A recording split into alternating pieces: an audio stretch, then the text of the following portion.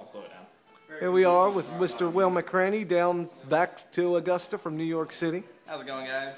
Uh, Yay! so uh, this is a little riff off a song of mine called "While the Night Is on Our Side" uh, from my last uh, trio record, and I wanted to share it with y'all. I was thinking kind of the Pink Floyd synth riffs, and uh, I wanted to put it on guitar and see how it worked out. And I thought it was pretty cool. So You're in, you're in drop D tuning, that yeah, was correct? drop D tuning for this one. So hope y'all like it.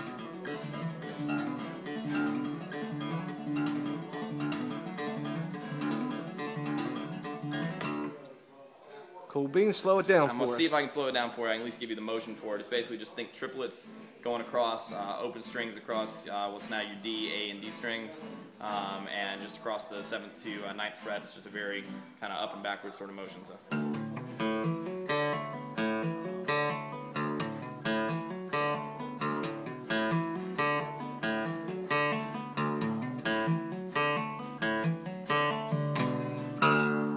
And I disregard that one.